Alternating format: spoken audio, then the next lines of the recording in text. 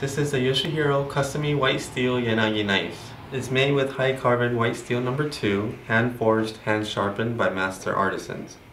It has great sharpness, edge retention.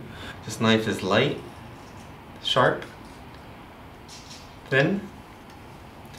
It's about 4 millimeters towards the spine, but it tapers down to about 3 millimeters towards the tip. It is made with high carbon white steel number 2. HRC is about 62-63. It's sharp, easy to sharpen, and has very good edge retention. It comes in rosewood handle, D-shaped, and a magnolia with saya for storage.